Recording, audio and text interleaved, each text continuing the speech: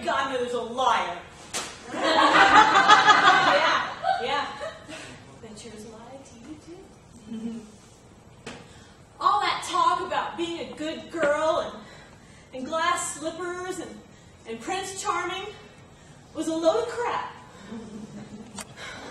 Who knew? Love doesn't find you when you need it the most. It doesn't make you feel beautiful or special or enchanted. It doesn't put you up on a pedestal to be pampered and praised. No. It chisels away at your heart, breaking off pieces that can never be replaced. It makes you feel stupid and ugly just when you are starting to get comfortable. It reminds you you're a tiny bubble in a room full of needles, and that at any given time, your happily ever after can burst into soapy suds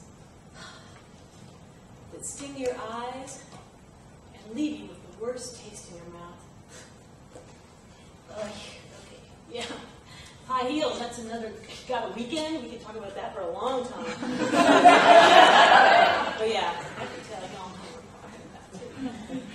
Listen, I'm no fairy godmother, but I do have something to say to young hearts. Don't be so quick to rely on that knight with the white horse. Instead, focus your magic wand on your own life and let your future castle and kingdom be of your creation.